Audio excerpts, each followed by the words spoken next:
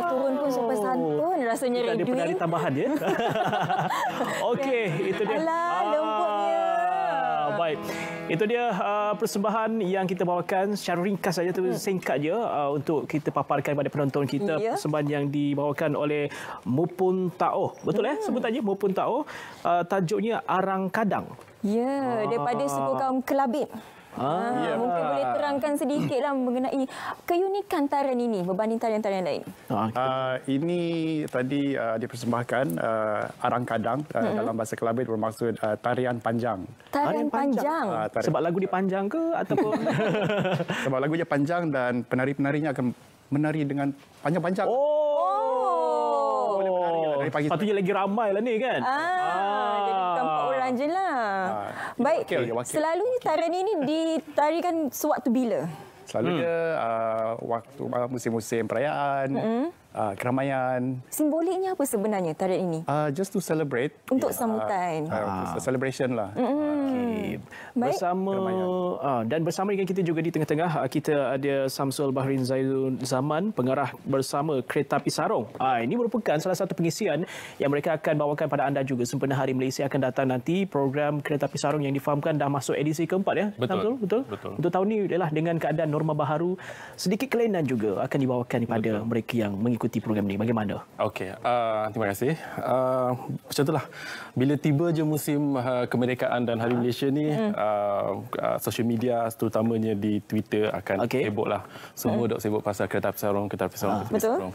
Uh, sangat sinonim dengan kami daripada um, uh, movement uh, daripada satu persatuan uh, komuniti yang panggil loko. Okey. Okey, kereta api sarung secara ringkasnya I think ramai orang dah tahu kereta api sarung merupakan satu flash mob awam yang mana kita menggalakkan orang awam menggunakan sarung ataupun memakai sarung dengan cara apa sekalipun. Ah, oh. Okey.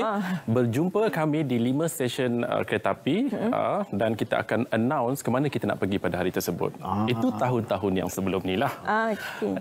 Oleh kerana dengan pandemik COVID pada tahun ini, Baik. kami uh, oleh kerana permintaan yang ramai lagi di social media, kami terpaksa juga announce yang mana kita akan ada juga kereta api sarung, tetapi kita akan buat norma baru kereta api sarung pada tahun ini iaitu uh, kita akan uh, buat hari sarung. Hari okey. Hari sarung. sarung. Instead of kereta api sarung, kita uh-huh. buat hari sarung.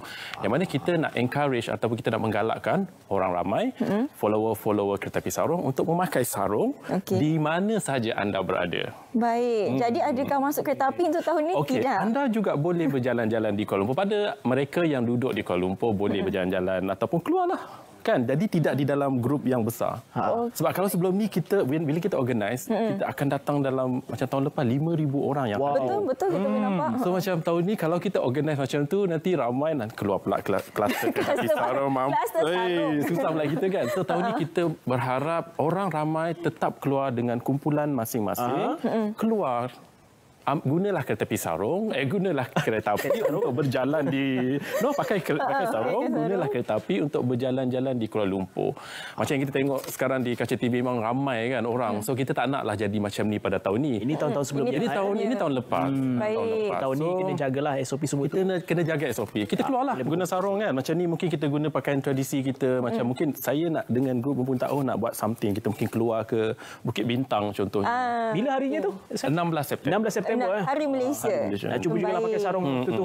dan, dan, dan, dan saya juga ingin menyeru kepada um, uh, produk-produk uh, pengusaha-pengusaha kafe okay. atau produk-produk uh, apa ni uh, pelancongan di luar sana untuk bekerjasama dengan loko you know uh, be part of kereta api sarung hypes Okey. ya uh, untuk contohnya untuk macam menggalakkan orang menggunakan sarung di tempat uh, datang ke kafe mungkin mengadakan kontes pertandingan atau apa sahaja Apa sahaja yang melibatkan kain sarung. Kain sarung dan saya mungkin boleh announce dekat sini kita akan bekerjasama dengan Cruise Tasik Putrajaya hmm, untuk okay. mengadakan uh, sarung cruise. Uh, tunggu uh, pengumuman kami di social media loko uh, sedikit masa lagi dalam minggu depan.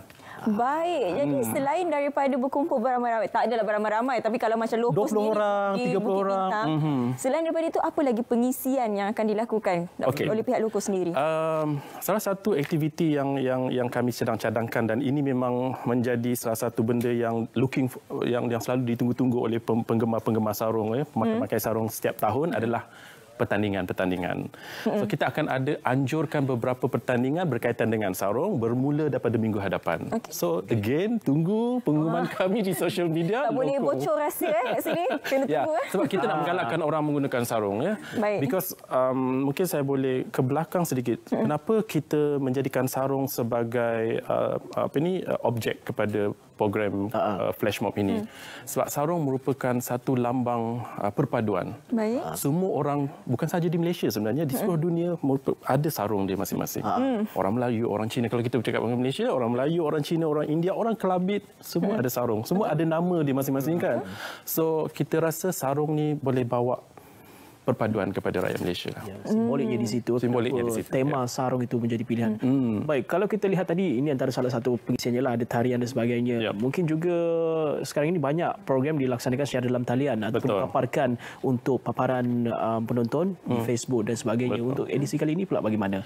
Okey, uh, Kereta Sarung ni kalau saya boleh recap balik bagaimana ia berlaku ya. Kita bergerak beramai-ramai daripada lima stesen ke satu lokasi okay. rahsia. Bila kita sampai ke satu lokasi macam tahun lepas di Dataran Merdeka, Ya. kita akan adakan uh, beberapa aktiviti contohnya um, lagu Negaraku beramai-ramai. Tahun lepas saya uh, mengetuai pembacaan ikrar.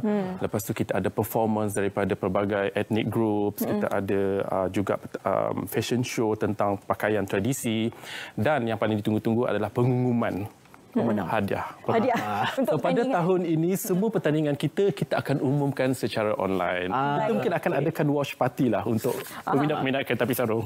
Jadi di manakah watch party itu? akan kita announce next week. Next week juga. Next week juga. Ah, jadi So, hari ini kita bagi teaser kita dulu. tak boleh tak. Memang betul-betul tersimpan rapi Ya, ya, ya, tak apa. Uh, untuk hari ini kita uh, kita vibeskan Hari Merdeka dulu. Baik. Minggu depan kita nak Hari Malaysia pula. Okey. baik, baik. Jadi kepada anda di luar sana jangan lupa untuk bersama-sama dengan loko Ya. ha, untuk Hari Sarung. Hari Sarung. Pakailah macam mana sekali rupa pun. Ha, ha. Betul. Begini, selendang, pun boleh. Selendang boleh, apa-apa sahajalah yang. Because sarung ni kalau kita definisikan dia adalah sebagai satu kain yang Baik. kita wrap di badan. Ya. Baik. Sarung. Terima kasih. Terima kasih. Hmm. Terima kasih kepada uh, saudara Syamsul dan juga Anderson, uh, pemain sahabat kita serta penari kita. Bupun Taoh. Terima kasih kerana memeriahkan Selamat Pagi Malaysia untuk edisi hari ini. Eh, Itu antara yang menarik akan kami bawakan untuk anda pada 16 September nanti. Ya, kita sekarang ni. akan bersama dengan anda selepas ini. Ah, Lepas ni kita nak bersama dengan Ah. satu movie sebenarnya. Panggung Apa- RTM. Panggung RTM. Jangan ke mana-mana.